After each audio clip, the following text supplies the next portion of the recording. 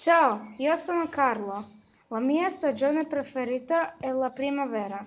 Mi piace la primavera perché fa bel tempo e c'è il sole. Tutto è verde e ci sono molti fiori.